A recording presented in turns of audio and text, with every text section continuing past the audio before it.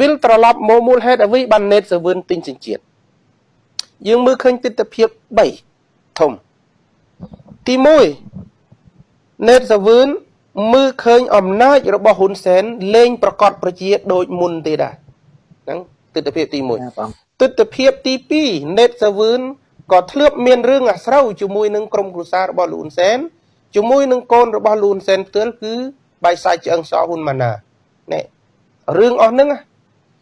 រឿងទី2រឿងទី3ណេតសាវឿនធ្លាប់មានរឿងអាស្រូវពុករលួយសហការជួញដូរគ្រឿងញៀនជាមួយនឹងមីប៉ូលីសមីពជាការជាច្រើននៅក្នុងព្រះរាជាណាចក្រកម្ពុជា ដែលយើងមើលមិនឃើញថាណេតសាវឿននឹងអាចคล้ายទៅជាអគ្គស្នងការនគរបាលជាតិទេប៉ុន្តែដោយសារការរៀបចំរបស់ហ៊ុនសែនកំចាត់ហុកឡងឌីចេញហេតុអីក៏ណេតសាវឿនផ្លោះចូលមកពីច្រកណាលឿនម្លេះ ដើម្បីឲ្យណេតសាវឿនចូលទៅកាន់ការពារការងារកលែងនឹងបានបូមលុយពីការជួញដូរគ្រឿងញៀនហ៊ុនសែនត្រូវកំចាត់មនុស្សពីរនាក់ដែលនៅជុំវិញនឹងដែលមានឥទ្ធិពលប្រហែលគ្នានឹងហុកឡងឌីហើយលើសណេតសាវឿនទៀតគឺមនុស្សពីរនាក់សំខាន់ទី1គឺហេងពូទី2មឹកតារា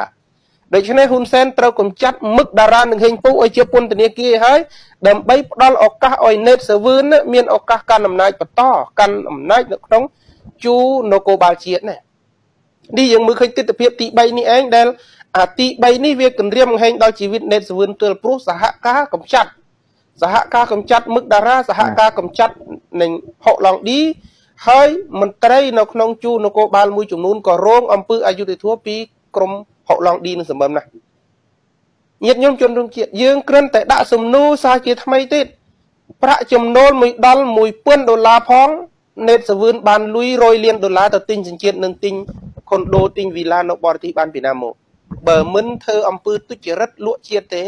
គ្មានឱកាសមានលុយប៉ុណ្ណឹងយកទៅទិញសញ្ជាតិទិញផ្ទះនៅក្រៅប្រទេសទេ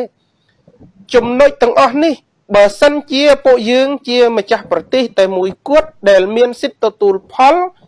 ទទួលផ្លែផ្កាពីធនធានរបស់ជាតិនិងពីសេវារបស់រដ្ឋាភិបាលយើងខ្លាយទៅជាជនរងគ្រោះតែយើងគូបណ្ដេតបណ្ដោយឲ្យសង្គមនេះ គេធ្វើប្រទេសយើងគេក្រឡុកប្រទេសយើងឲ្យខ្លាយជាវឹកវរគេបង្កបញ្ហានៅក្នុងទីក្នុងជាតិយើង ដើម្បីងាយស្រួលគេរៀបចំយកធនធានទៅចិញ្ចឹមគ្រួសារគេហើយយើងបន្តរងគ្រោះសោកនាដកម្មតជំនាញញាតិញោមជនរួមជាតិយើងស្រមៃគិតមើលមុនសម័យ3ឆ្នាំ8ខែ20ថ្ងៃ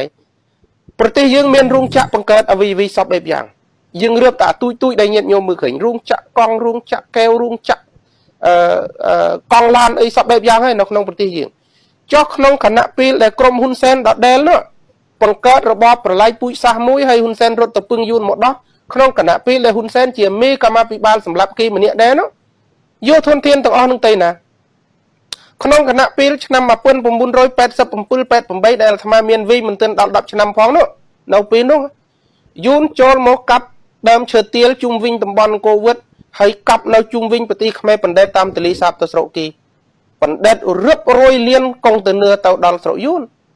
ហើយមុននឹងយួនដកចេញពីស្រុកខ្មែរដូចជាឆ្នាំ88និងចុងចុង88ពីម្ដុំស្រុកវ៉ារិនខេត្តសៀមរាបវាបកគ្រឿបដេកតាមបឹងតាមតាពីងសម្លាប់ត្រីចោលអស់នៅពីនឹងហើយអាត្មានៅវីក្មេងព្រឹកឡើងរត់ទៅរឹសត្រីដែលគេបកអណ្ដែតអណ្ដែតសោះពេញទឹក ដូច្នេះទាំងអស់ហ្នឹងគឺគេធ្វើឲ្យប្រទេសយើងคล้ายទៅជាប្រទេសវឹកវរក្រៅប្រទេសវឹកវរគេបំផ្លាញបំផ្លាញធនធានក្នុងទឹកក្រក្នុងទឹកក្រោមដីឬដីក្នុងទឹកក្រោមដីឬដីក្នុងទឹកមានត្រីក្រោមដីមានរ៉ែឬដីមានព្រីឈើដូច្នេះគេបំផ្លាញអស់នឹងធ្វើឲ្យជាតិយើងរលាយហើយដំ